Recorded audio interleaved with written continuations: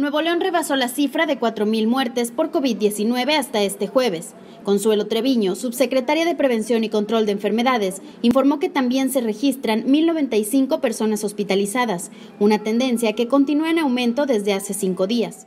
Por desgracia, y como ustedes pueden ver, hoy rebasamos la cifra de los 4.000 defunciones en el Estado. Es una cifra triste que desgraciadamente día a día reportamos nosotros de funciones. Hoy, como en días pasados, reportamos 27 defunciones. Agregó que hoy se contabilizaron 498 nuevos casos y 248 personas que se encuentran hospitalizadas y requieren ventilación mecánica para su atención médica. Esta gráfica, como ustedes pueden ver,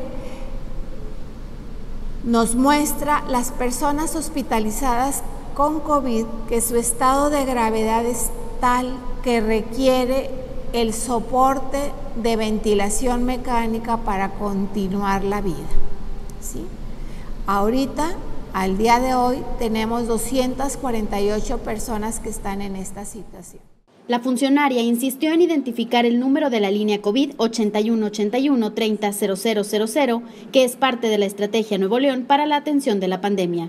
Con imágenes de Roberto Elizondo y Alejandro Martínez Galloso, para Noticias 28, Cintia Salazar.